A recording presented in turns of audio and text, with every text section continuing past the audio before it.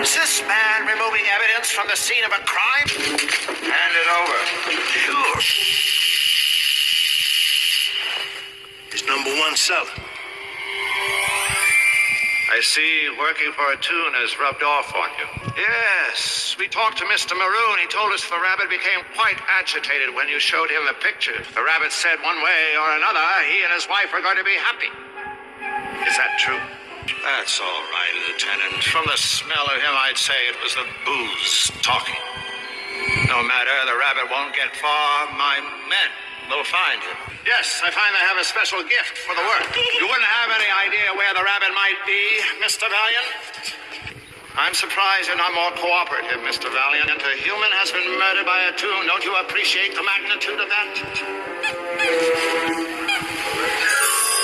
Since I've had Toontown under my jurisdiction, my goal has been to rein in the insanity. And the only way to do that is to make Toons respect the law.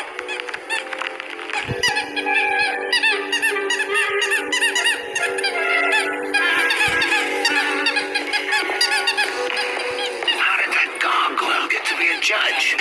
Then I'll try him, convict him, and execute him.